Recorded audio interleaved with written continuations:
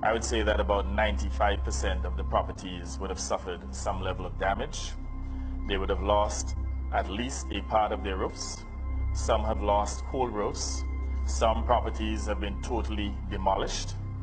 It is absolutely heart-wrenching.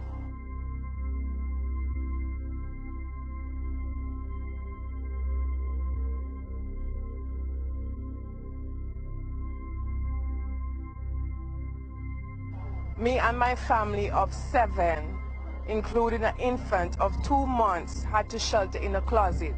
Last night was a horrible experience for me. The house was like tearing apart. Anyway, it was like it was sucking us up.